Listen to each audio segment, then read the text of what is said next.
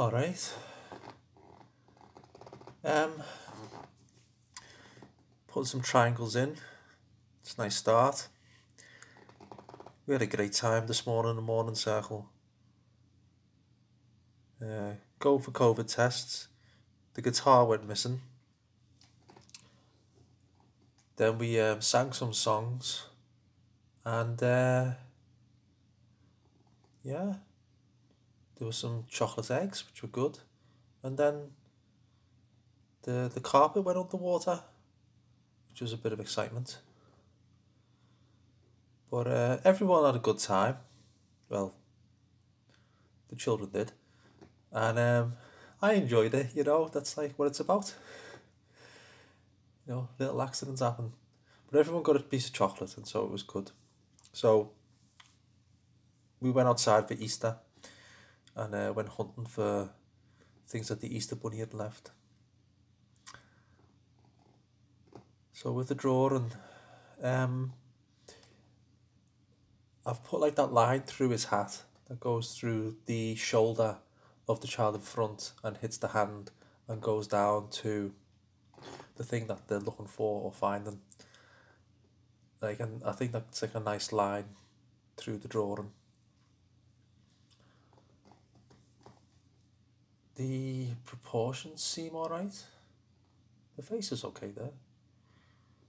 But I don't know, the, the, guy on the left, he seems fine, but the one on the right, he looks like he's fallen backwards a little bit. Anyhow. This is it, you know, if you have like guidelines and it um gives you, you know, what you could possibly be doing with your next idea. You know, placing. You see, I've measured from the head there and decided to put this shadow in on the tree in that place because of that.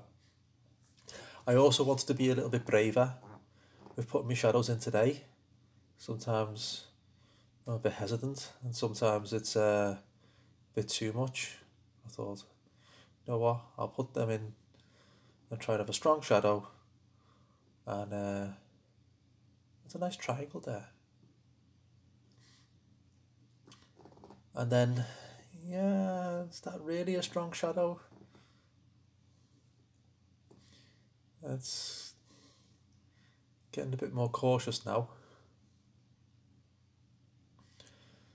Anyway, so there's the egg in the little basket down the bottom.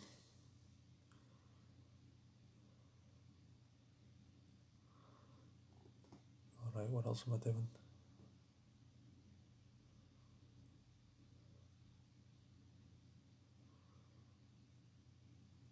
Okay.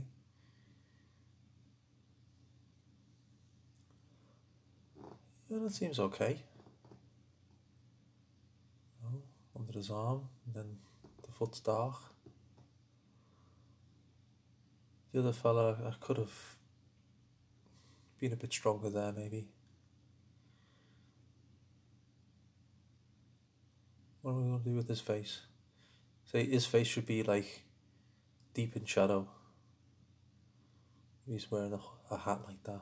It's, mm, a bit gentle.